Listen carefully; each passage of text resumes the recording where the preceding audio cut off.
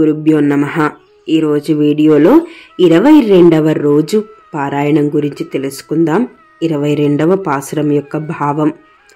ఓ సుందర సువిశాలమైన భూమిని ఏకఛత్రాధిపత్యము గల నేలిన రాజులందరూ తమకెదురెవ్వరూ లేరని అహంకారమును వీడి అభిమానులై నీ శరణుజొచ్చిరి అనన్య శరణాగతిని చేయుచు నీ సింహాసనము కింద గుంపులు గుంపులుగా చేరినట్లు మేమును అనన్య ప్రయోజనాలమై వారి వలె నీ శరణుజొచ్చినాము మాకు నీవు దక్క వేరే దిక్కు లేదు స్వామి.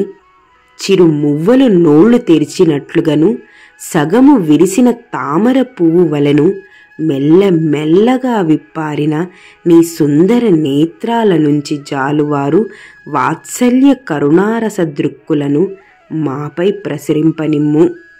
సూర్యచంద్రుల దయించేయనట్లు కనిపించు నీ కన్ను దోయ నుంచి జాలువారే కరుణావాత్సల్య రసదృక్కులు మాపై ప్రసరించినచో మా కర్మ బంధములన్నీ తొలగిపోవును కనుక మా కర్మ బంధములు తొలగగానే మేము నిన్ను చేరుకుందుము కదా.